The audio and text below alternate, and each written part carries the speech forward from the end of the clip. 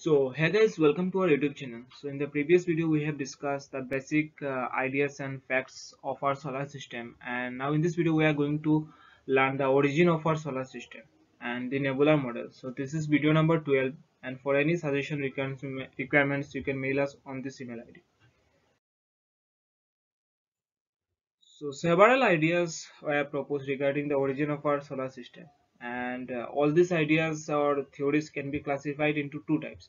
One is catastrophic and other is gradualistic. So let us first discuss the catastrophic theory. So according to the catastrophic theories all the planets of our solar system were formed out of the materials ejected from the sun. When a giant comet or something like that collided with it or the planets came into being due to the ripping off of ripping off of materials from the sun caused by the massive tides generated by a close by passing star. So basically catastrophic theory tells us that the, all the planets in our solar system are made from the remains of the sun. However, these theories do not however these theories do not explain many features of our solar system. And further during the 20th century, astronomical evidences have been found which support the gradualistic theory. So, so let us discuss what is the gradualistic theory. So according to this theory, formation of planets is a gradualist, gradual and continuous process and the planets are the natural byproduct of the formation of stars like the sun and the others. Gradualistic theories of the solar system are based on the nebular hypothesis. Now let us discuss what is nebular model. So according to this hypothesis, the sun as well as the planets formed form an interstellar cloud of dust and gas which are normally which are just roaming in the universe. So a model of the formation of the solar system based on this hypothesis is called a nebular model. That is the interstellar cloud of gas gas and dust. So the basic principle of physics underlying the nebular model is the newton's law of gravitation so according to the nebular model, formation of stars including the sun begins when the interstellar cloud with enough mass and low internal pressure contracts due to its own gravity. And this increases the density of the cloud. And as the density of the clouds increases the collision between the particles starts and this increases the kinetic energy of the particles in the cloud. This is basically the schematic diagram of how a star is formed from the nebular theory. This is a interstellar cloud of gas and dust so it due to gravitational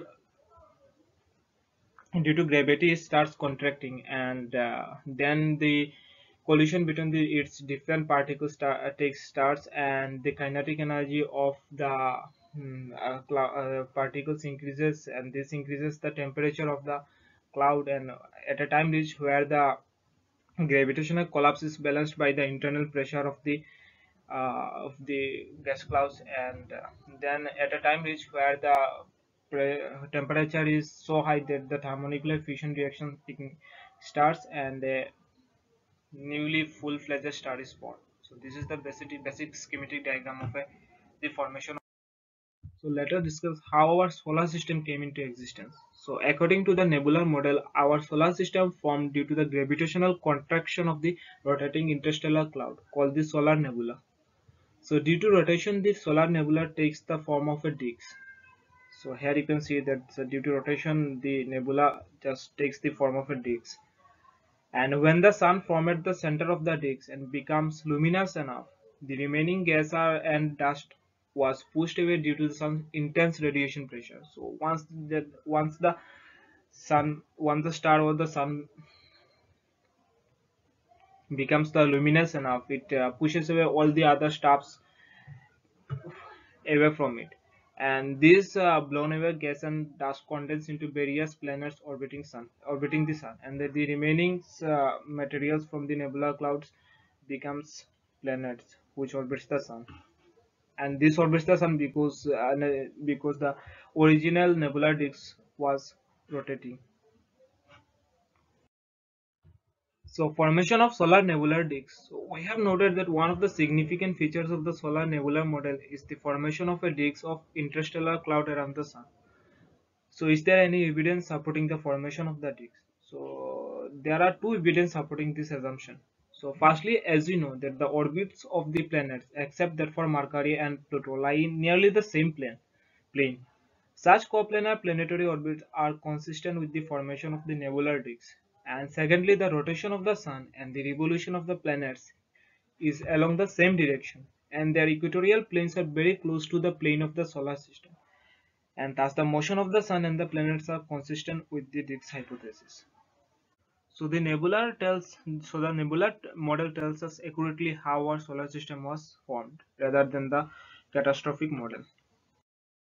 So this is for today's video. Thank you for watching this video and uh, if you subscribe and like our video then it will be very much motivational for us. So thank you for watching this video.